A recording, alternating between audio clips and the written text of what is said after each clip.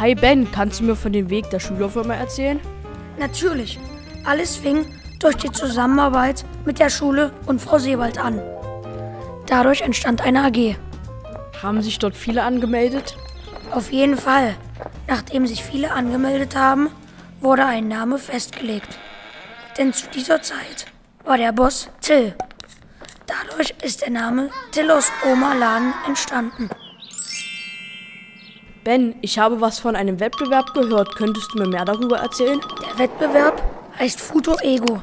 Dort stellt man Ideen vor, von denen man überzeugt ist, dass man viel erreichen kann. Und dort hat sich deine Firma beworben? Ja, aber vorher musste sich die Firma umbenennen. Der neue Name war jetzt Food Bar for You. Und danach ging es zum Wettbewerb?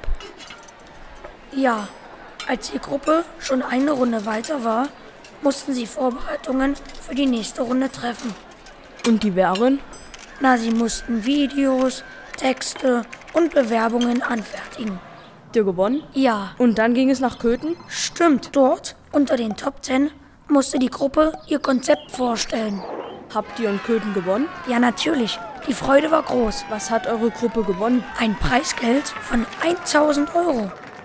Und wie läuft es jetzt in der Schülerfirma? Die Schülerfirma ist weiterhin bei uns an der Schule aktiv. Komm, wir können ja jetzt mal was essen gehen. Gute Idee.